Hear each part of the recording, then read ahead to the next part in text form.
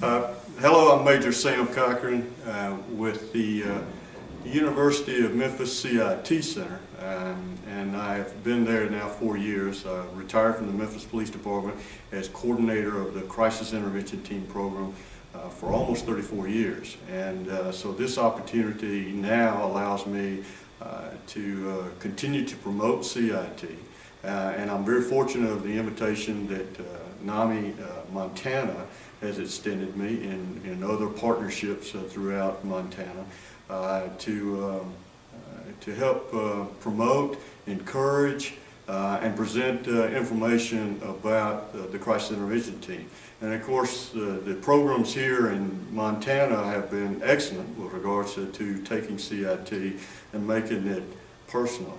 And I think that's, that's, I think that's really important and necessary. CIT as what we oftentimes refer to. It's really a first responder uh, program uh, in law enforcement to respond to crisis events related to mental illness. Uh, it's actually been expanded now over the years. Uh, CIT is now being introduced into corrections, uh, into uh, probation.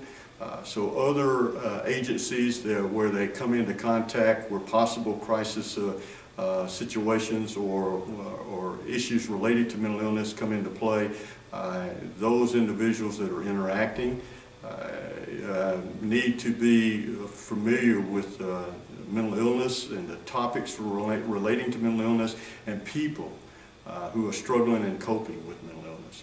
And so the crisis intervention team is a very unique way of addressing, uh, I think, stigma. Probably the better word would be prejudice, but many people like to use the word stigma, so I'll use it uh, but the, the contents of what I'm referring to is, over the years, I think everybody will recognize there's a lot of misinformation about mental illness.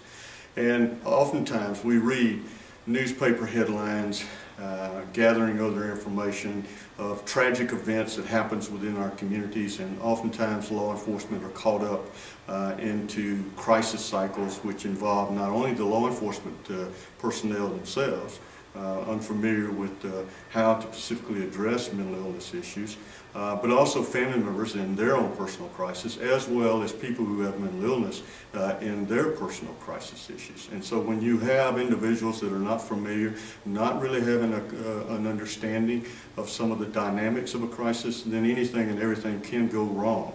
And so the crisis intervention team is, is intended to present a platform by which the community claims ownership of addressing these issues, not just from a law enforcement perspective, but the community is addressing it for a community purpose.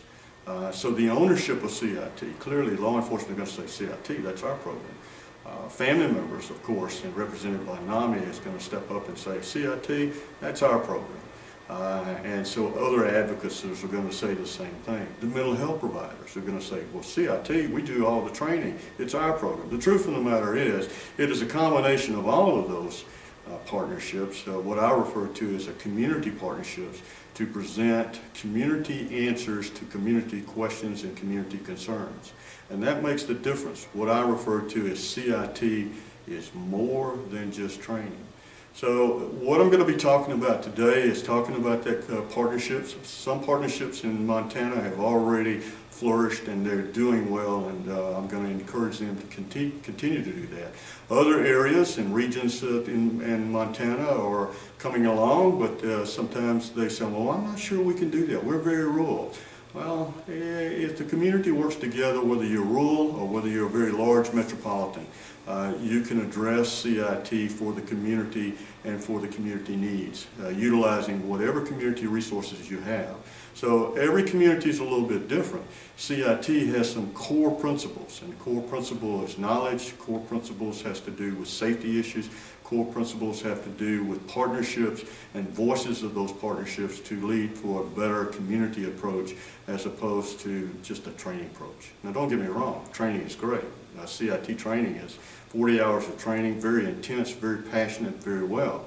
But I want officers to walk out of that training, not just with the reflection of training that they have acquired during that week's training, but I want them to walk out of the classroom and walk into the community attached to what we call partnerships.